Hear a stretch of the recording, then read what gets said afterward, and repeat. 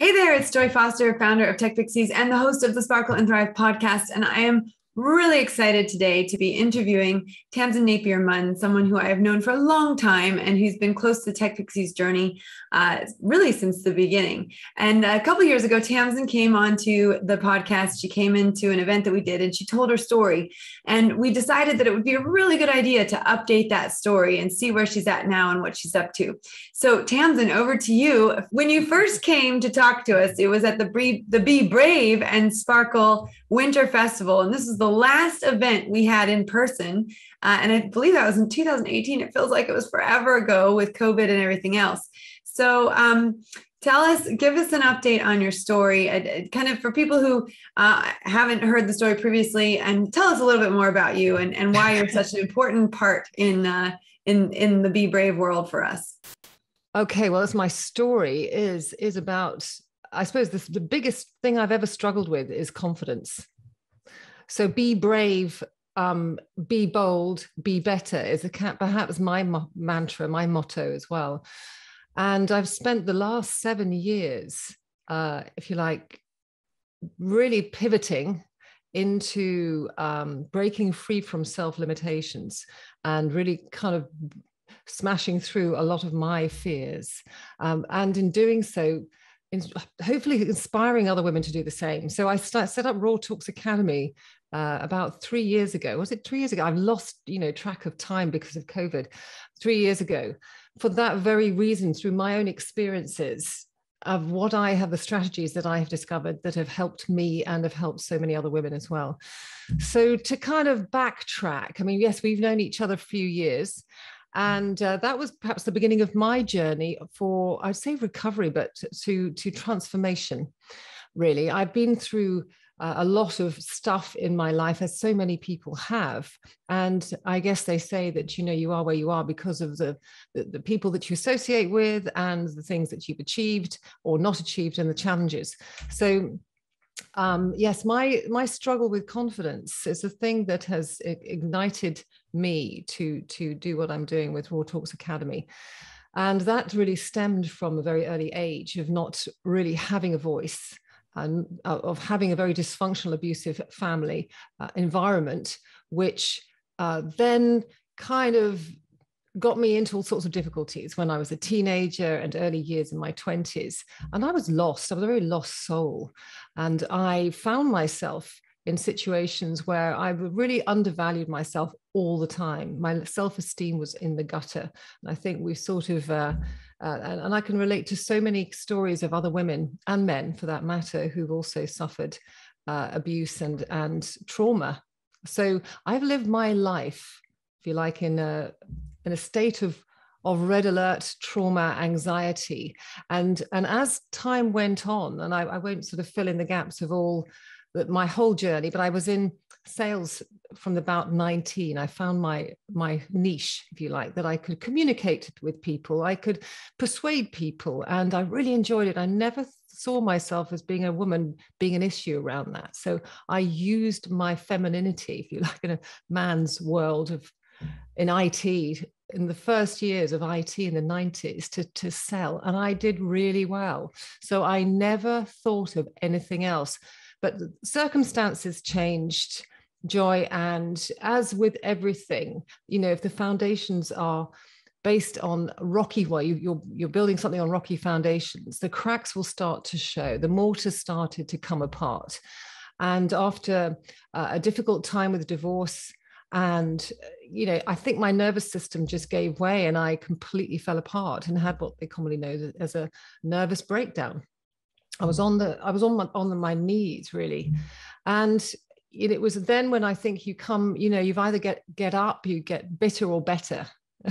you know, you can either um, move forward or you can allow it to consume you. And I had really no choice. I have a son at that time was much younger, and I had a mouth to feed. I had a you know rent to pay, or rather a mortgage to pay, and bills to pay and you know scrabbling around for pennies where i had no money coming in because i couldn't function uh, in the bottom of my handbag if anybody else has done that or just knowing wondering when the next penny was going to come from. You know it's quite a scary place to be. So i remember launching myself out of my chair at a point at which I was um, literally at rock bottom.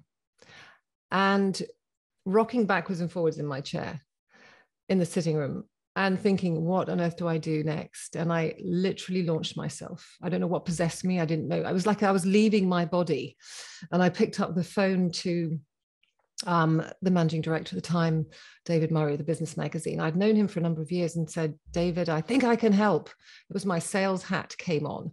And I really, it was almost like I was watching this person do this because my head um, was so scrambled, but something in my heart said, do it. So I got up and did it. And I say the rest is history, but that was one of those sliding doors moments. You know what I mean? When, if you've ever watched the film, although it ends tragically in both times, but it, you know the the the doors. You can take a few seconds to literally ch- change the trajectory of your life if you make a decision and act on the instinct. And so that was really perhaps the the starting point of really launching my new career at this tender age of 50 something. And i have to say that that, that kind of is at the back of my mind a lot of the time with so many other women who who are in their 50 plus time through menopause how how one's confidence can also be affected so much. And i i went through all of that at the same time. So i wasn't sure whether this nervous um, you know breakdown was to do with my divorce menopause or something else anyway, all I knew was was I had to do something. So well, I, I, I just want to pause you there for a second because this is so important. This concept of what do i do right and and it's it's it's understanding that there's always a step you can take there's always something you can do and i think that is a, a concept um, that i've really started to understand the last few years uh, and really started to employ as well uh, in my own life.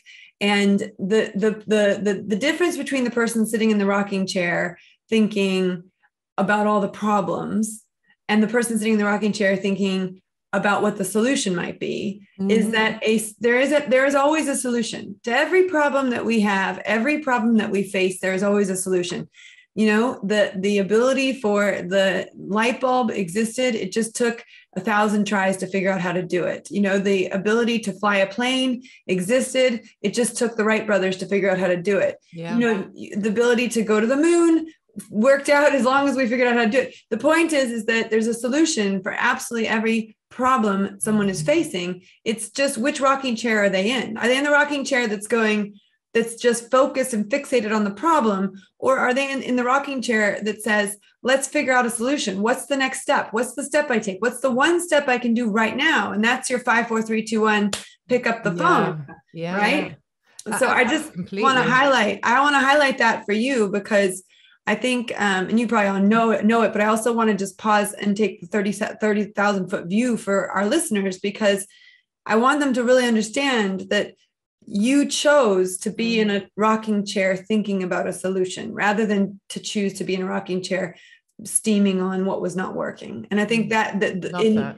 you mm-hmm. can't find the solution in a frame of mind that comes out of anxiety frustration and fear you can only come up with the solution when you come, come out of a place of what would i love where would i love to be what would i love you know and for you it was like i it was some of it was out of necessity right for your family but also yeah you got the idea to move forwards not because you were dwelling on what wasn't working but you were dwelling on what's the next step that i could take. So i just i want to really applaud you for that because that is a brave move. Well i you know you've said lots of things that are absolutely so so on point joy. You know i call it mind judo. So one of the things i coined was this idea of mind judo. It's a mindset. We can either go down a rabbit hole of catastrophizing everything, which takes us on what I call this, this runaway train, which often I was on, which meant that although I was trying to, I was very positive, uh, it would be the what ifs, the what ifs. And when we are in our head and we're trying to answer our own questions, we don't have the answers, we can catastrophize. So we know there's this runaway train, we know it's out of control, um, but we need to jump the tracks you know, and to be able to jump the tracks, we need to shift our mind. I call it mind judo because it is like a game of judo, a, a match. If you watch judo in action it is that kind of least resistance as soon as you you kind of flip it on its back you can you can change direction of your mind and it t- starts with a thought as we know the law of attraction then tells us that we we will get what we focus on. So if we're looking for brown cars we'll see brown cars. If we're looking for a solution we'll find a solution. But the key is action. You know it is we will never build confidence and courage in our heads it comes from action. And that's the most courageous thing we can ever do. It's that first few seconds. We call it the three, two, one, the sod it button now. Some people coin it something else, but I call it the sod it button. It's sod it. And that's instinctively what I did. I listened to my heart, not my head, and found the courage in a few seconds to launch myself out of that rather than what often I know so many of us do is dwell this has to do what you're talking about is noticing what you're noticing. It has to do awareness. Yeah, it has to do with consciously noticing what the subconscious is doing, right? So 90% of what we do is on autopilot, is on subconscious. 90% of the time, most people would sit down and just dwell on all the problems because that's what your subconscious does.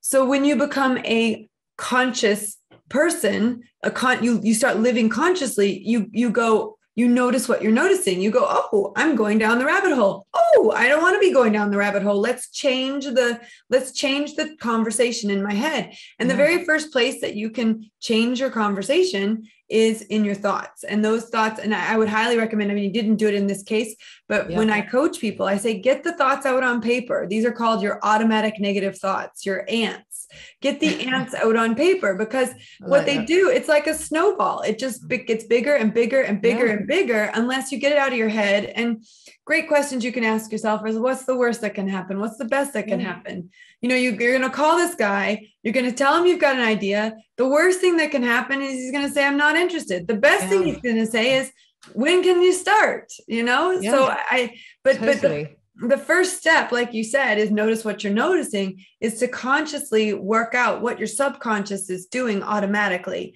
and that's just being aware of your thoughts most yeah. people are not aware of their thoughts. Most people run on autopilot. And the yeah. very first step you can do is to be aware of what you're thinking. And like you said, it's like you watch this other person do it, even though it was your own body. It's like just being aware of your thoughts is the first piece of the puzzle. And then making a decision about what you're going to do with those thoughts is the next piece of the puzzle. Yeah. And action third. So it happens in a split second, literally a few seconds. And this is where I'm so so so passionate about what I discovered. And it's been coined somewhere else. And I know Mel Robbins talks about the five second rule. I, I think about the three seconds because I read read that book and I've listened to it so many times. But I recognize that I could talk, myself out of anything in five seconds. Yeah. But actually, in three gives you less time. And you think about on your marks, get set, go you know we see it everywhere it's actually a really good metacognition tool but you know you talk about you know we we can change our thoughts being awake to our thoughts being aware and awake being present the moment we absolutely understand what our mind is saying is a what if get our ants out there but get our what ifs. And i know so many of us have a bad case of the what ifs. And instead of going, what if, I teach people to use the three, two, one, you're aware of that noise of what if, is immediately flipping it into a, well, what, I'll give you an example. Um, you know, I'm in the process of buying a property at the moment, and it's taken seven months so far. And I'm so there's a little voice in me going, What if it doesn't go through? What if?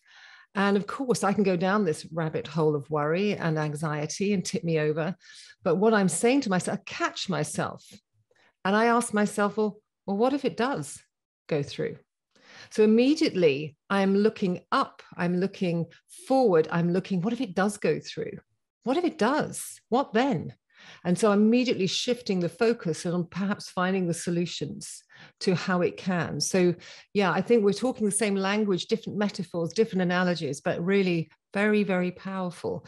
And I talk about this action, Joy, because sometimes we have to act before we change our thoughts because action, our physiology will change our psychology. You know, if we move into action, I mean, try it. You know, when I get people to I say get people, I encourage people to jump up and down first thing in the morning saying, I'm awake, I'm alert, I'm alive. You don't probably feel like doing it with lots of enthusiasm. But when you do it, you feel enthusiastic. So our, then our minds follow. It's like your mind will follow your, your body you're right action is so important you have to take action that's for sure i think the the it's really interesting because I said to one of my coaches once i said well i keep thinking you know i keep i have this thought like what if it doesn't work and so i flipped that just like you said i flipped it to well what if it works and she was she was great she said to me she goes joy that's great and i'm really glad that you were able to flip it she goes but that's not a strategic plan. and I, I thought, oh yeah, that's a good point. Like, what if it works isn't really a plan? And that's where the action is. That's where the action it matters. You know that okay, so let's shift the thinking from what if it doesn't work to what if it does work. But then you can't just say what if it works. You got to take the steps to make Absolutely. it move forward. It's Like, who do I need to call to move this forward? Another tip that I learned from this coach, which I love, and she's, I mean, she is by far one of the most favorite people I've ever worked with. But her, her other thing is to always hold this or something greater still.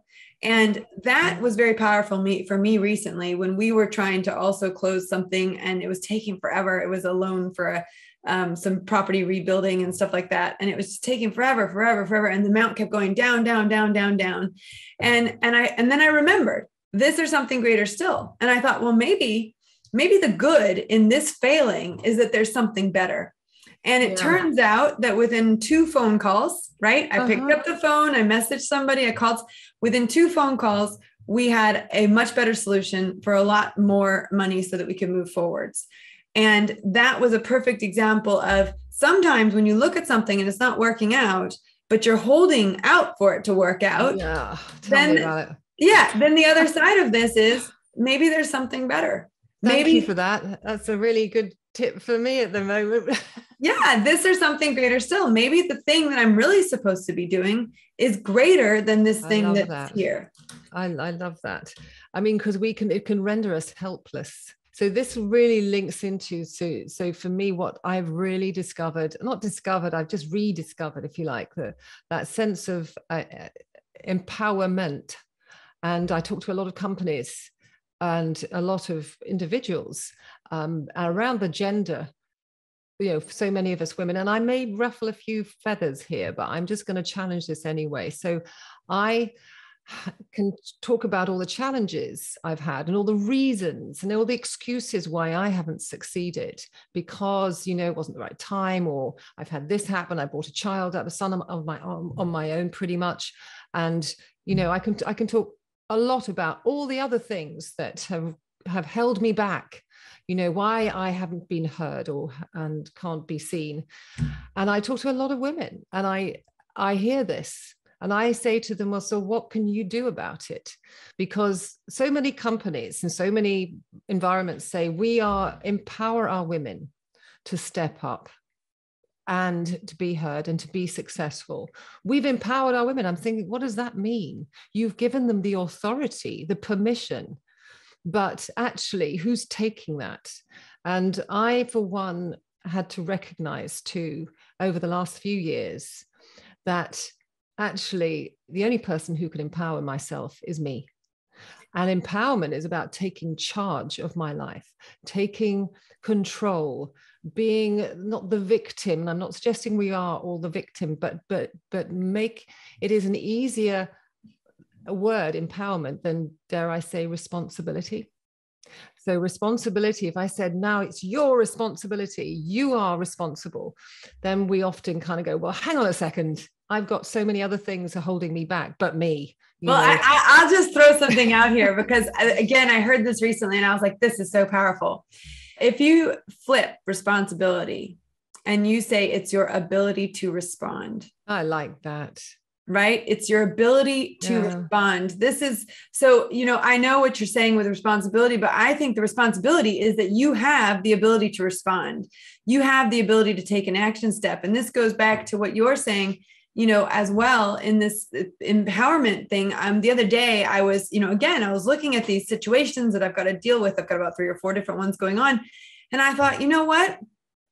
I'm powerful not powerless Yeah. I am full of power to make a decision, to move myself forward, to do that phone call, to send that email, to, you know, and it may not work, but at least I'm taking a step forwards. Yeah. And I think yeah. when we remember that we are powerful, not mm-hmm. powerless, that's where the empowerment comes from. When we yeah. remember that we have the ability to respond and we don't have to be vegetables and who can't respond to something we have the power to respond. We have the ability to respond. And that is very very important when you're going through uh, a transformation because mm. the transform the you know the it's like climbing a mountain you know yeah. i remember in switzerland we used to live near a big mountain called um, pilatus and uh, apparently pontius pilate was buried there now whether or not that's true i don't know but that's what the mountain is named after and you have to go through this very dark period of climbing the mountain dark cold period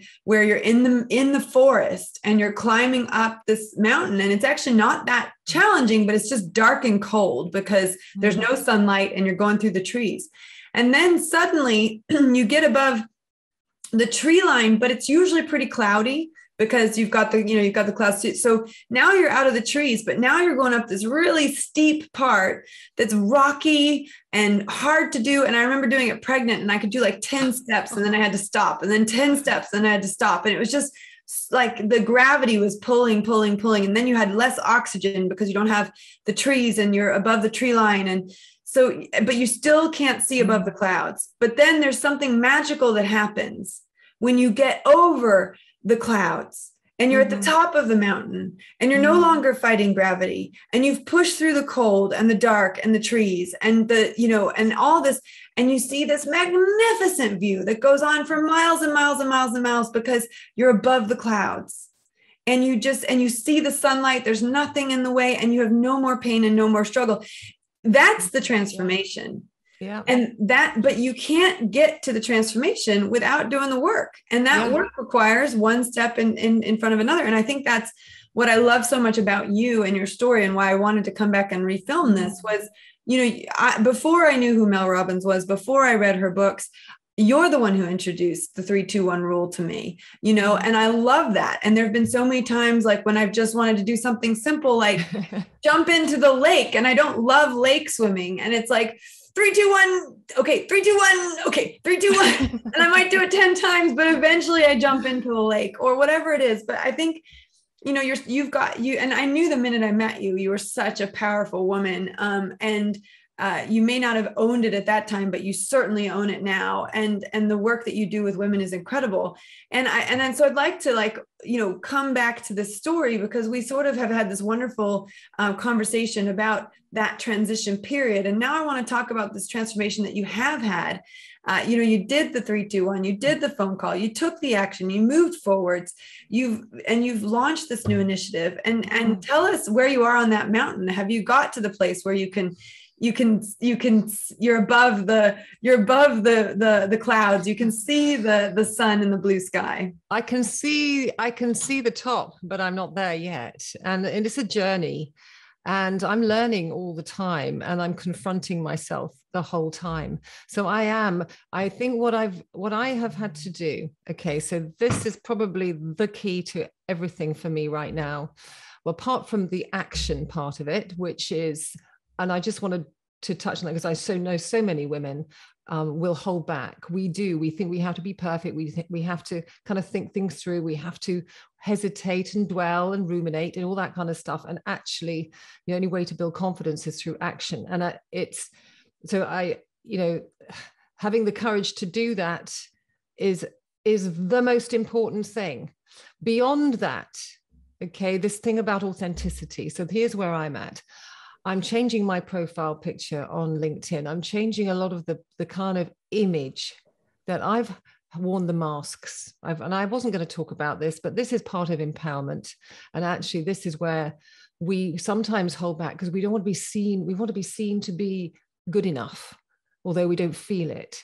So the lady in the mask, and I've met her, I can't remember her name, but she's lovely. She's amazing. But I've worn a mask all my life. I've worn lots actually. I take them off and put them back on again. I wear the armor uh, and I put it on. And what I've discovered, and I've made myself, laid myself a bit bare recently, is that actually that doesn't inspire people. It doesn't reach people and it doesn't help me because everywhere you go, there you are. So, you know, if you want to be the best for you and be authentic, you have to be that with yourself first. And I, uh, so that's part of the journey that I'm on is is being brave to be me yeah, well, that is so important. And and we talk at Tech Pixies a lot, especially in our self-paced superhero boot camp, about taking off the invisibility cloak, right? Yeah. Who am I? And what do I stand for? What are my values? And who do you think you are? yeah. It's that is such a key element in this whole thing because if you don't know who you are and you don't know what you stand for and you don't know what your values are, it's very hard to uh, be authentic. And um, you know, I think there's a there's a great book um, that I have called Valuable by a guy named Mike Jennings. Uh, we have a great podcast episode we did with him, which was all about values, company values, and then actually how do you find a company that has your same values and why values are important.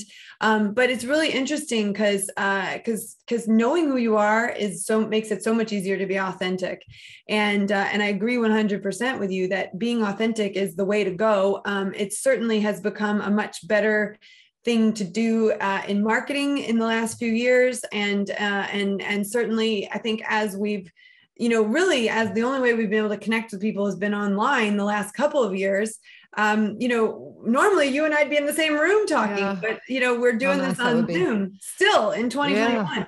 but but this is now how we connect with people that we don't know or people that we can't be in the same room with we connect this way and mm-hmm. you know if if if you have the the perfect hair and the perfect nails and the perfect background and you know and you don't have the kids running in and out like yep, i think what we've yep. learned is authenticity matters it, it really matters yeah. and it's how to be authentic is the thing and that is something i do work with women on is how do we reveal ourselves and be powerful in that and there was this nugget that I talked to an organization about, and I talk with other organizations about a lot.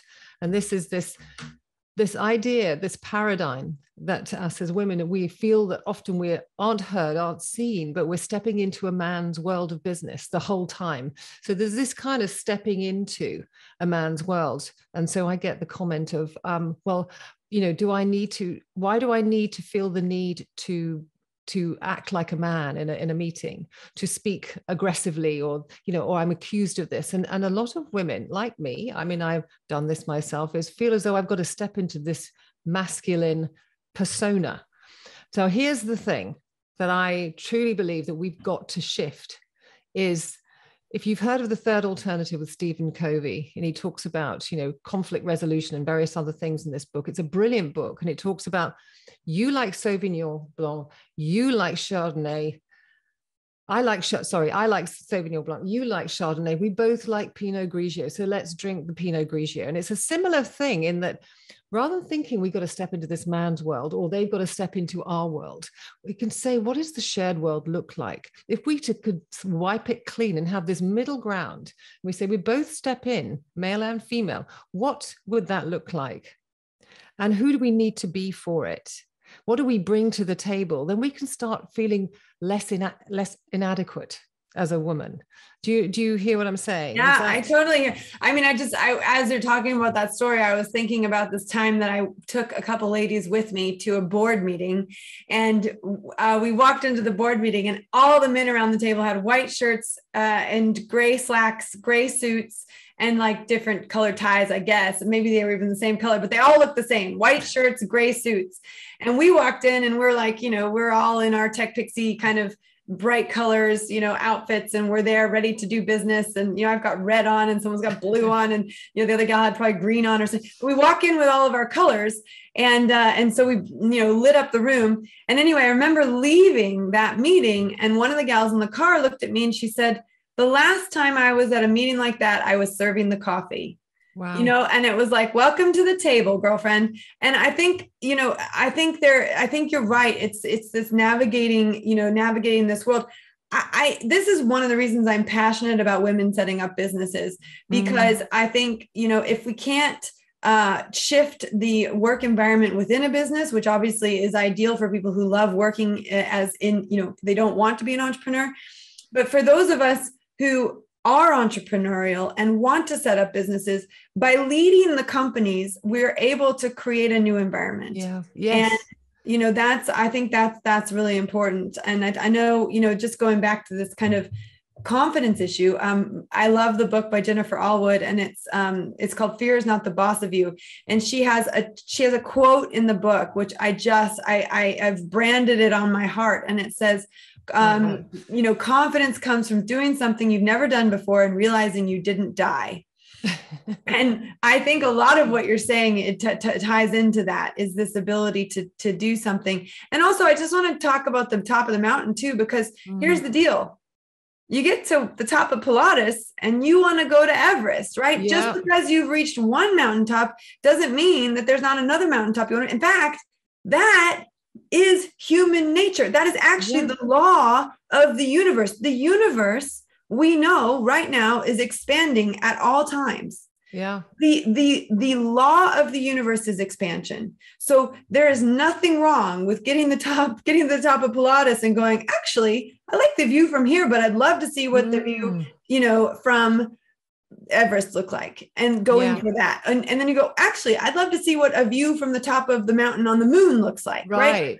right? Okay. So it's it's yeah. human nature to get to the top of the mountain and then actually yeah. I want to go see what the you should know because like. you're an athlete and you do that. You set a goal and then you kind of go, was that it? Now I need to do another one. And and how and and that's that's part of being your journey as well, hasn't it? Yeah. And one of the tricky things about being an athlete is there does come a time where the peaks can't be higher than the previous peaks. Yeah. So then and, you have to find a purpose.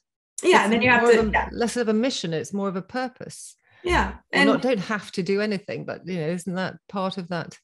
Well, I like the way Jessica Ennis Hill did it. She said, "This is my post mummy times." Like she went for her her best post mummy times, right? And so nice. I think you know, I think what happens when your body physiologically changes, um, then you have new goals. You have different goals. You you know, and you're looking, but you can always find improvements wherever you're in, and maybe it means changing sports and starting new. You know, who knows what it is, but the point is, is that you know the athlete the athlete analogy is good. There is a point yeah. where most athletes can't keep going. I mean if, if people could keep going forever they would be. But then you've got incredible stories like the iron nun you know this woman in her 80s who's a nun and she does ironmans right? I mean th- how crazy is that? And that's just mm-hmm. someone who said i have a dream. This is my dream. I'm going to pursue it. And it's not yeah. about getting faster times. It's about getting you know being in her 80s and finishing an ironman. Yeah yeah, and I, I, I kind of haven't one of those things that you have, and one of the things that really engaged me because I think one has to this whole thing uh, so women are so I say I'm tending uh, this is generalizing of course, but how us as women we kind of get lost in our families. Perhaps we kind of get lost in the the here and now, and are not as goal oriented perhaps as some men perhaps. But you know what I've seen and what I've discovered myself is that the power of a purpose as opposed to that something outside us it's bigger than us it's not about me. And i think women feel more comfortable when there's a sort of sense of how it's going to impact the world. And because we do need to inspire ourselves in order for us to to face challenges to have the courage to to step out of our comfort zone. Otherwise why bother? You know it's a great place to be. It's a com- lovely place to be isn't it? A comfort zone but it doesn't nothing grows there. So if we're going to actually to to to want to achieve something and fulfill ourselves you know if we've got the why you know it's going to help us to get out of the comfort zone and step forward and and make those changes and try something new. And i think that's you know i just encourage women to find that purpose in themselves that's bigger than them I think that's such a great point. And I remember when we did this conversation the first time, you know, one of the things that I talked about at that event was how it snowballs. You know, you do one little brave act and then you have the confidence to do another brave act and another brave act and another brave act. And before you know it, what you're doing 10 brave acts down the line you would never have conceived from day one but now you're 10 at 10 choices down the line and you're like wow the the choices i made 10 10 times ago i could make now with my eyes shut. Yeah. and it's about and it is about getting out of your comfort zone and becoming comfortable with being uncomfortable. Yeah. Um and it is about push i don't know anyone and i'm sure you have so many similar conversations to the, to me. You and i don't know anyone who's stepped out of their comfort zone, put themselves to uh, uh, out on a, mm-hmm. on a limb, on a you know, to do something that has regretted it. You, exactly. Yeah. You always learn something from it. Even you know, failure means for all I have learned.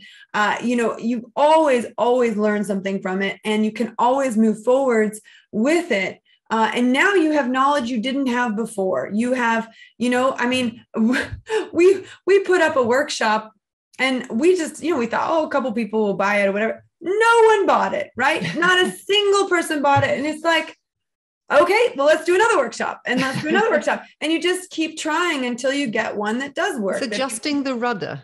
Yeah. You know, constantly to to you have to be brave to do that joy don't you you have to you have to to be clear and and and have faith in where you're going to not what you're going through and and adjust the rudder as you go and but i think you know important so important to inspire yourself to become your own inspiration first. And to then do things that inspire others will come as a result of that. And i think if some some women are watching this or listening to this maybe thinking well who am i to do this something? Who am i or or, or can i? But you know who um, what's my purpose? Well i kind of asked my son once who inspires you who's your inspiration he said you mum and that really got to me because i recognized that if i had just i had not shown him that I was willing to go out there and test myself, put myself out there and overcome. What message does that give to him? And I saw my mother not do that. And she only inspired me more than ever when she got on a plane once and went to Tibet on her own when my father had passed away. And she climbed and in her 70s and did a trek for miles and miles and miles. And I was so impressed for the first time in my life. And I think that's what us you know for women we've got to recognize it's you know to to put ourselves to pursue a purpose and a dream will not only inspire the women around us and other people around us, but our our children as well. Absolutely and i think when we're talking about dreams you know the dreams that are in your heart are going to be different from the dreams that are in my heart. Yeah. And that's because we have different experiences we're different people we have different genetics we have different makeups we've you know and the thing is is that the dream that you have is only given to you because you're the person who can fulfill it. And mm-hmm. the question is, am I going to lean into this dream or not? And the, the the reality is you wouldn't be able to dream it if it wasn't something that you could do, if the resources to do it weren't already in you. And um, you know, I, I and we can close on this because I think this is a really great thing. It's not a question of uh, is this is eh, you know am i worthy to do this dream it's is this dream worthy of yeah. me is it worthy yeah. of me? Because many many times we we need to flip that. It's the dream has come to you. Is it worthy of your time and attention? Uh, and and that's the question you have to ask. Not am i worthy to do it? Because if it's come to you it's picked you. This is yes. your dream. This is the life that this is if, if if the idea has come to you it is meant for you. You mm-hmm. have to decide whether or not you want to you have to it. listen to it for sure yeah. and then trust that instinct to go heart first decisions yeah 100%. Well, let's just sum this up and being brave uh, you need to listen, like pay attention, notice what you're noticing. What are my thoughts?